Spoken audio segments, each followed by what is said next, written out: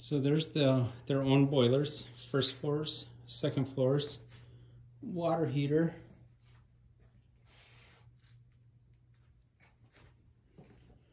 There's the three water sources too, so even the water's going to be coming in and build accordingly.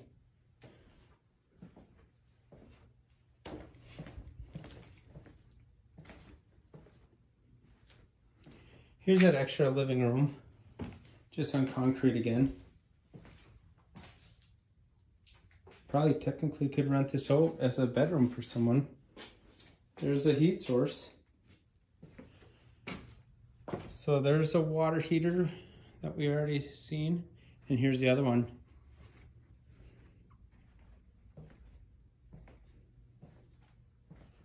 Overall, really clean, nice solid bluestone basement concrete. And here's that entrance out to the garage.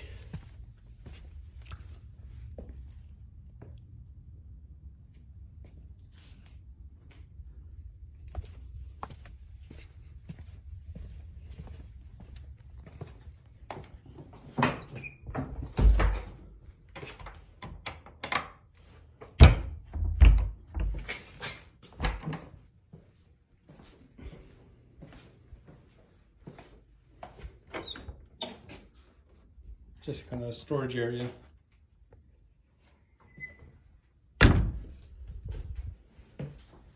Low ceiling here